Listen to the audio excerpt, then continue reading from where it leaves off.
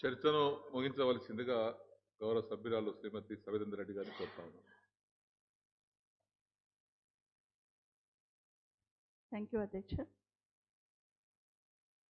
తెలంగాణ రాష్ట్రం ఏర్పడిన తర్వాత మొట్టమొదటిసారి అసెంబ్లీలో మాట్లాడే అవకాశం కల్పించిన మీకు గౌరవ స్పీకర్ గారికి అదేవిధంగా పార్టీ అధిష్టానానికి నా నియోజకవర్గ ప్రజలకి ధన్యవాదాలు చెప్తూ తెలంగాణ రాష్ట్రం ఏర్పడాలని తెలంగాణ ప్రజలు పడుతున్న ఇబ్బందుల్ని తెలంగాణ ప్రాంతం అభివృద్ధి కోసం గతంలో మా వారు ఇందిరారెడ్డి గారు ఉన్నప్పుడు కూడా తపన పడేవాడు అధ్యక్ష. అలాంటి తెలంగాణ రాష్ట్రం ఏర్పడిన తర్వాత ఈ అసెంబ్లీలో మాట్లాడడం వ్యక్తిగతంగా చాలా సంతోషంగా ఉందని తెలియజేసుకుంటూ అధ్యక్ష రైతు దేశానికి వెన్నెముక అయితే ప్రభుత్వాలు రైతుకు వెన్నెముక కావాలి అధ్యక్ష. రైతుకు సాగునీరు గిట్టుబాటు ధర అందిస్తే రైతులు నిజంగా సంతోషంగా ఉండగలుగుతారు అధ్యక్ష. రైతు అనేవాడికి వ్యవసాయానికి ఏ ప్రభుత్వం వచ్చినా ఆసర ఇచ్చే ప్రయత్నం చేయాలి ఆదుకునే ప్రయత్నం చేయాలి అధ్యక్ష. గతంలో కూడా టూ థౌజండ్ ఫోర్లో కాంగ్రెస్ ప్రభుత్వం ఉన్నప్పుడు కూడా ఉచిత విద్యుత్ ఇస్తామంటే ఆ రోజు హేళన చేసిన సందర్భాలు చూసాం అధ్యక్ష.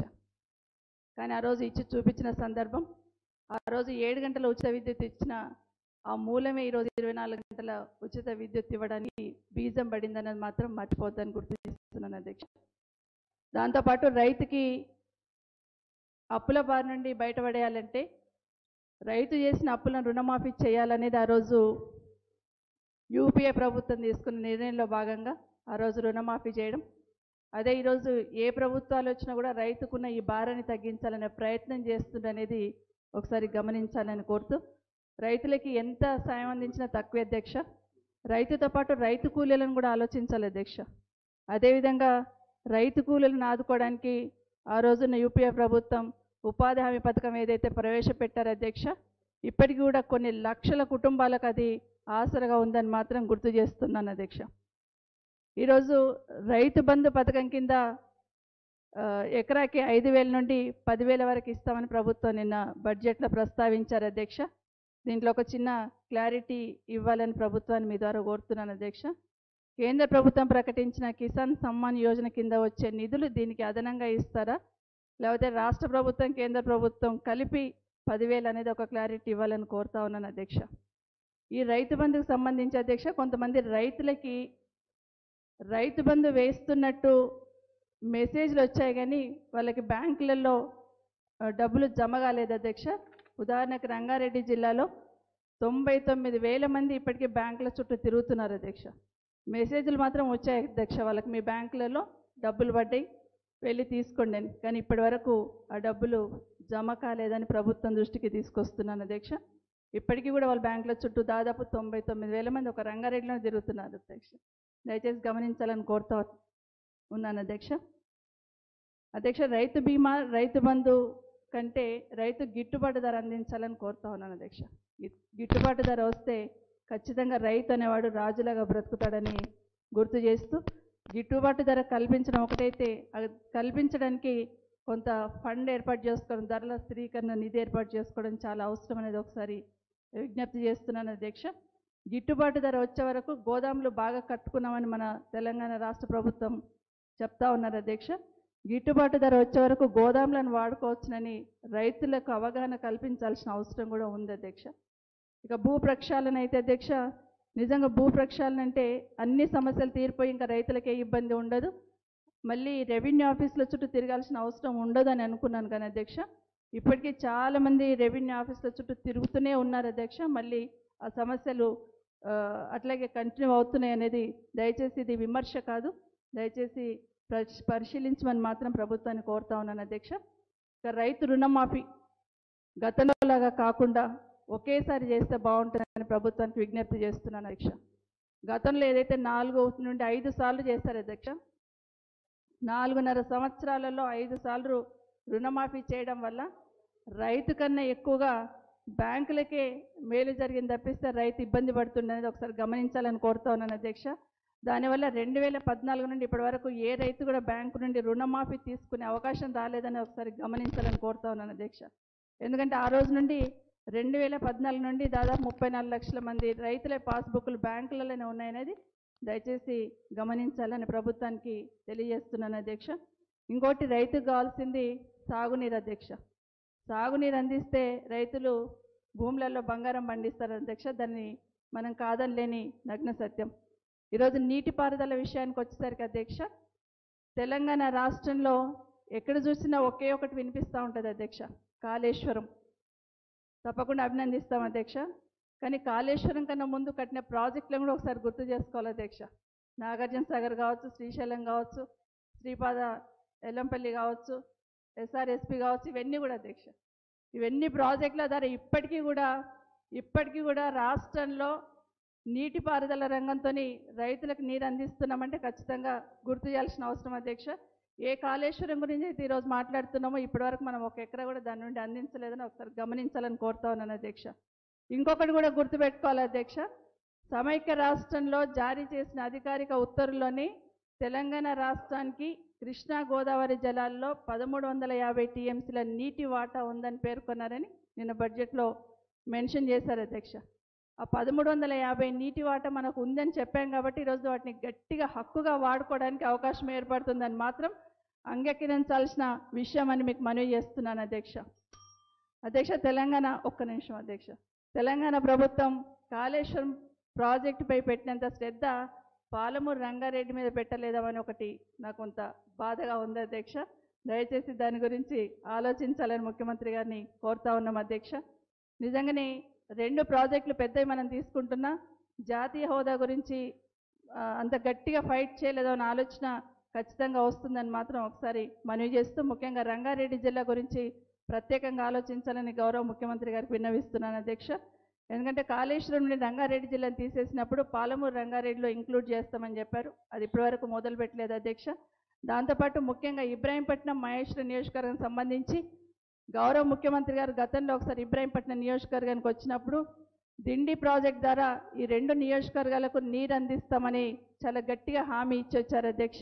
మరొకసారి మీరు ఇచ్చిన హామీని గౌరవ ముఖ్యమంత్రి గారికి గుర్తు చేస్తూ ఆ దిండి ద్వారా ఇబ్రాహీంపట్నం మహేశ్వరం కల్లోకుర్తికి సాగునీరు అందించడానికి ఈ బడ్జెట్లో ప్రస్తావన లేదు కాబట్టి ఒకసారి గౌరవ ముఖ్యమంత్రి గారికి దీన్ని గుర్తు చేస్తున్నాను అధ్యక్ష మీ ద్వారా. దీంతోపాటు మిషన్ కాకతీయకు సంబంధించిన చెరువుల ప్రక్షాల చెరువుల గురించి మాట్లాడే అధ్యక్ష. చెరువుల పునరుద్ధరణ ఎంత ముఖ్యమో ఆ చెరువులు నింపే కార్యక్రమం కూడా తప్పకుండా ఆలోచించాలి అధ్యక్ష. ఎందుకంటే గతంలో ఇబ్రాహీంపట్నంలో గౌరవ ముఖ్యమంత్రి గారు ఒకసారి మాట్లాడుతూ ఇబ్రాహీంపట్నం చాలా పెద్ద చెరువు. దాన్ని నింపడం ఖచ్చితంగా నింపుతామని హామీ ఇచ్చారు అధ్యక్ష. అలాంటి ఎన్నో చెరువులు ఈరోజు అలా ఖాళీగా ఉన్నాయి కాబట్టి వాటిని నింపితే సిటీ చుట్టుపక్కల వ్యవసాయానికి వాడుకోకపోయినా భూగర్భ జలాలు ఇదిగడానికి అవకాశం ఉంటుందని పరిశీలించాలని ప్రభుత్వాన్ని కోరుతా ఉన్నాను అధ్యక్ష. దీంతోపాటు విశ్వనగరంగా హైదరాబాద్ను చూడాలని అనుకుంటున్నాం అధ్యక్ష అందరము. హైదరాబాద్లో ఉన్న చెరువుల పరిస్థితి ప్రత్యేకంగా ఉంటుంది అధ్యక్ష. హెచ్ఎండిఏ పరిధిలో ఉన్న చెరువులన్నీ కూడా చుట్టుపక్కల కాలనీస్ అన్నీ డ్రైనేజ్ సిస్టమ్ అంతా తీసుకొచ్చి ఆ చెరువులలో వేయడం వల్ల ఓపెన్ సెప్టిక్ ట్యాంకుల్లా మారిపోయినాయి అధ్యక్ష. వాటి మీద ప్రత్యేకమైన దృష్టి పెట్టాలి వాటికి ప్రత్యేకమైన ప్రణాళిక అవసరమని మాత్రం గౌరవ ముఖ్యమంత్రి గారి దృష్టికి తీసుకొస్తున్నాను అధ్యక్ష. దీంతోపాటు డబల్ బెడ్రూమ్ ఇళ్ళ గురించి ఒక్కసారి ప్రస్తావించాలి అధ్యక్ష. తెలంగాణ రాష్ట్రం ఏర్పడ్డప్పటి నుండి ఎంతోమంది డబుల్ బెడ్రూమ్ ఇళ్ళ గురించి ఎదురు చూస్తూ ఉన్నారు అధ్యక్ష. ప్రభుత్వం వచ్చిన కొత్తలో కుటుంబ సమగ్ర సర్వే చేసినప్పుడు కూడా ఇల్లు లేని వాళ్ళు దాదాపుగా ఇరవై రెండు లక్షల మంది ఉన్నారనేది ప్రభుత్వం దగ్గర ఉన్న నివేదిక అధ్యక్ష. కానీ నిన్న బడ్జెట్ మీటింగ్లో నిన్న మెన్షన్ చేసినప్పుడు రెండు లక్షల డెబ్బై ఐదు వేలు గత నాలుగు సంవత్సరాల నుండి కడుతూనే ఉన్నాం అధ్యక్ష. ఈ నాలుగు సంవత్సరాల నుండి కడుతున్నవే ఈరోజు కూడా మెన్షన్ చేయడం జరిగిందని ఒకసారి గుర్తు చేస్తూ కానీ ఈ డబుల్ బెడ్రూమ్ ఇళ్ళకు అర్హత ఏంటనేది ఒక క్లారిటీ ఇవ్వకపోవడం వల్ల అధ్యక్ష ఎంతోమంది అప్లికేషన్లు పెట్టుకొని ఎదురు చూస్తూ ఉన్నారు అధ్యక్ష. ఉదాహరణకి గతంలో జిహెచ్ఎం సెలక్షన్స్ జరిగిన తర్వాత రంగారెడ్డి జిల్లాలో ఉన్న యాభై డివిజన్లకు సంబంధించిన వాళ్ళందరూ కూడా కలెక్టరేట్ దగ్గర అప్లికేషన్ పెట్టుకుంటే అధ్యక్ష మూడు లక్షల యాభై వేల మంది డబల్ బెడ్రూమ్ ఇళ్ళ కోసం అప్లికేషన్లు ఓన్లీ యాభై డివిజన్ల వాళ్ళు పెట్టుకున్నారు అధ్యక్ష. మళ్ళీ ఇప్పుడు ఎలక్షన్స్ అయిపోయిన తర్వాత మీ సేవా కేంద్రాలలో కూడా మళ్ళీ అలాంటి అప్లికేషన్లే పెట్టుకుంటా ఉన్నారు అధ్యక్ష. కాబట్టి ఇప్పటికైనా క్లారిటీ అర్హత గురించి ఒక క్లారిటీ ఇస్తే బాగుంటుంది. నిజంగా అర్హత ఉన్న వాళ్ళు దళార్ల దళార్ల వాడిని పడకుండా ఉంటారని మాత్రం గుర్తు చేస్తా ఉన్నాను అధ్యక్ష. సొంత స్థలం ఉంటే ఇల్లు కట్టుకుంటే కట్టుకునే వారికి ఆర్థిక సాయం ఇస్తామంటున్నారు అధ్యక్ష. అది ఎప్పటి నుండి ఇస్తారనేది ఒకటి క్లారిటీ ఇవ్వాలి. గ్రామాలలో స్థలాలు లేని వాళ్ళకు కూడా స్థలాలు ఇస్తే బాగుంటుంది అనేది ప్రభుత్వానికి ఒక మనవి అధ్యక్ష. ఎందుకంటే చిన్న చిన్న ఇండ్లు ఉంటాయి కుటుంబాలు పెరిగి ఉంటాయి కాబట్టి అది ఇస్తే బాగుంటుంది. దీంతోపాటు గతంలో గౌరవ ముఖ్యమంత్రి గారు ఒక హామీ ఇచ్చారు అధ్యక్ష అసెంబ్లీ సాక్షిగాని. హైదరాబాద్ చుట్టుపక్కల జైనునార్యం రాజు గురకల్పై ఇండ్లు కట్టినాం అధ్యక్ష. దాదాపుగా ఎనభై వేల ఇండ్లలో యాభై వేలు అలాట్ చేసాం ముప్పై వేలు ఇంకా చాలా ఖాళీలు ఉన్నాయి అధ్యక్ష. వాటిని అర్హత గల వాళ్ళకి ఇవ్వాలైతే ఒకటి.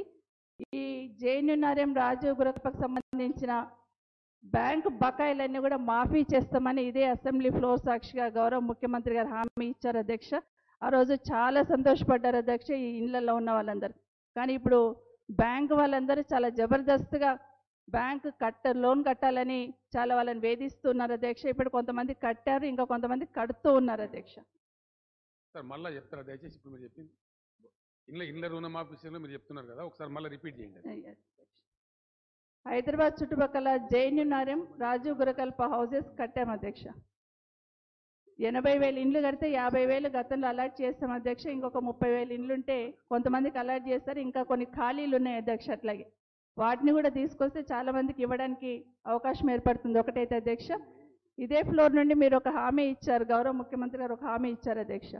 అంటే ఈ జైనునరం హౌసెస్లలో రాజు గురకల్పలో ఉన్న వాళ్ళకి బ్యాంకులకు కట్టాల్సిన బాకీ ఏదైతే ఉందో మాఫీ చేస్తున్నామనే హామీని ఇక్కడి నుండి మీరు ఇచ్చారు అధ్యక్ష. దయచేసి పరిశీలించమని కోరుతా ఉన్నాను. పరిశీలించమని కోరుతా ఉన్నాను. తర్వాత అప్పుడు ఒక వన్ ఇయర్ బ్యాంక్ వాళ్ళు ఊరుకున్నారు అధ్యక్ష. వన్ ఇయర్ తర్వాత మొదలు పెట్టారు బ్యాంక్ వాళ్ళు వాళ్ళ దగ్గర బకాయిలు కట్టమని. ఇప్పటికీ చాలామంది మీరు ఇచ్చిన హామీ మరొకసారి మీరు ముఖ్యమంత్రి గారు కాబట్టి తప్పకుండా నిలబెట్టుకుంటారని ఎదురు చూస్తూ ఉన్నారని ముఖ్యమంత్రి గారి దృష్టికి తీసుకొస్తున్నాను అధ్యక్ష. దీంతోపాటు మహిళలకు సంబంధించి అధ్యక్ష రాష్ట్రంలో మహిళా సంఘాల పనితీరు ఎట్లుందనేది ప్రత్యేకంగా చెప్పాల్సిన అవసరం లేదు అధ్యక్ష? కానీ మహిళా సంఘాలకు ఇవ్వాల్సిన వడ్డీ ఏదైతే ఉందో దాన్ని రిలీజ్ చేయాలని ప్రభుత్వాన్ని కోరుతా ఉన్నాను అధ్యక్ష. దాంతోపాటు ముఖ్యంగా రంగారెడ్డి జిల్లాలో మహిళా సంఘాలు ఒక పదమూడు మహిళా బ్యాంకులు రన్ చేస్తున్నాయి. ఒక పదిహేను సంవత్సరాల నుండి చాలా పర్ఫెక్ట్గా పద్ధతిగా రన్ చేస్తూ ఉన్నారు అధ్యక్ష.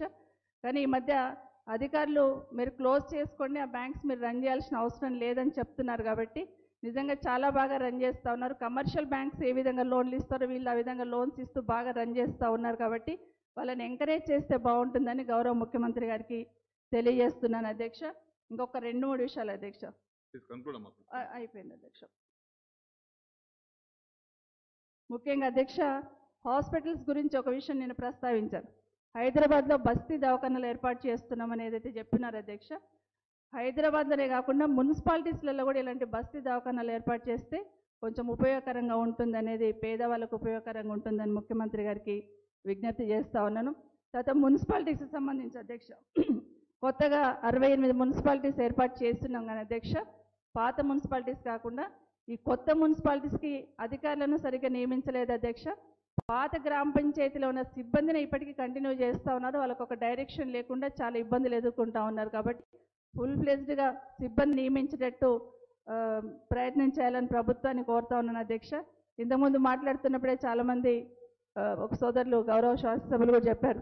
గ్రామ పంచాయతీలు కానీ మున్సిపాలిటీలు కానీ అద్దంలాగా ఉండాలనుకుంటున్నాం మెరవాలనుకుంటున్నాం. అని. అది అందరం కూడా సహకరిస్తాం అధ్యక్ష. నిజంగానే అలా మెరవాలనుకుంటే గ్రామ పంచాయతీలో కానీ మున్సిపాలిటీస్ కానీ స్పెషల్ ఫండ్ ఇస్తే కానీ జరగని పరిస్థితి అధ్యక్ష. ఉదాహరణ నా నియోజకవర్గంలో ఒక మున్సిపాలిటీ ఉంది అధ్యక్ష జల్పల్లి అని. నైంటీ ఫైవ్ పర్సెంట్ ముస్లిం సోదరులే ఉంటారు అధ్యక్ష. చాలా దారుణమైన పరిస్థితులు ఉంటాయి నిజంగానే గౌరవ ముఖ్యమంత్రి గారిని రిక్వెస్ట్ చేస్తా ఉన్నాను. ఇలాంటి మున్సిపాలిటీస్కి అదనంగా నిధులు ఇస్తే అన్ని మున్సిపాలిటీస్ కూడా డెవలప్ కావడానికి అవకాశం ఉంటుందని కోరుకుంటూ ఇలా ఇదే కాకుండా హాస్పిటల్స్ విషయంలో అధ్యక్ష నియోజకవర్గానికి ఒక హాస్పిటల్ అన్నారు. దాని గురించి ప్రత్యేకంగా ఆలోచించాలని కోరుతా ఉన్నాను. విద్యారంగం స్కూల్ ఎడ్యుకేషన్ ఎంత ముఖ్యమో హయ్యర్ ఎడ్యుకేషన్ అంతే ముఖ్యం అధ్యక్ష. ఫీజు రియంబర్స్మెంట్ బకాయిలు విడుదల చేయాలని గౌరవ ముఖ్యమంత్రి గారిని ప్రభుత్వాన్ని విజ్ఞప్తి చేస్తా ఉన్నాను ఎందుకంటే ఎస్సీ ఎస్టీ బీసీ మైనార్టీ పిల్లలు ఎక్కువ మంది ఉంటారు అధ్యక్ష. కాబట్టి దాని మీద ప్రత్యేకమైన దృష్టి పెట్టాలని కోరుతా ఉన్నాను మిషన్ భగీరథలో పాడైపోయిన రోడ్లన్నీ కూడా మరొకసారి వాటి మీద దృష్టి పెట్టాలని కోరుకుంటూ చివరగా నాకు ఈ అవకాశం ఇచ్చినందుకు ధన్యవాదాలు చెప్తూ మహిళలకి ఏ అవకాశం ఇచ్చినా బాగా చిత్తశుద్ధితో చేయగలుగుతారు అధ్యక్ష?